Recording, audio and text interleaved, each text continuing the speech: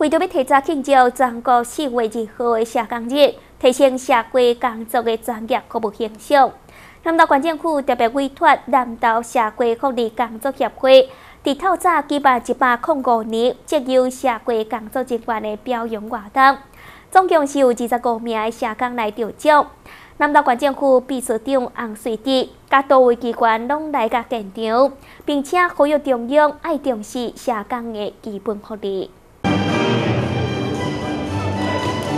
为着庆祝一年一度的社工日，南投县长林明前特别录了一段影片，来感谢社工人员长期来的辛劳。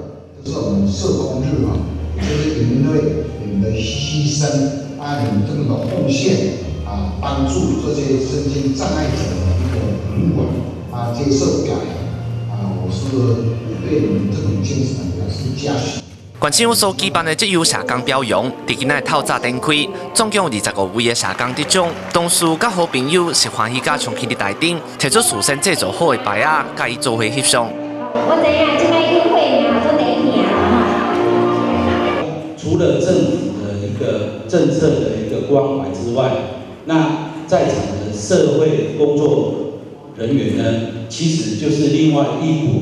社会稳定的一个力量。在这个社会充满着暴力、充满着不安的同时，我们的社工人员更显得重要。啊，你来经费变了少，互咱的社工的这个安全配备，包括这个人员，啊，有较侪人愿意要来投入，啊，这是第，我相信咱南投县的平安较好。随着社会变迁，社工的工作是愈来愈歹做，毋那是时间长，工课搁真复杂，这款心路是一般人无法度体会，无数的付出甲爱心，是真需要大家鼓励。社会环境的一个大变动，那有可能来来自一些家庭的问题。那我们家庭有一些责任，可能是他们有一些老人或者身心障碍者，事实上是不不为我们所知的。那我们希望有一个更温馨的一个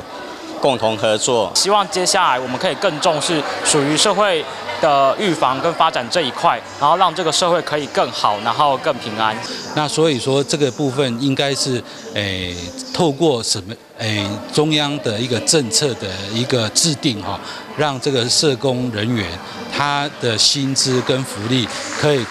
得到相当的一个报酬。特别一定来呼吁咱政府哦，针对咱社工一定来给着重来给啊加加加强。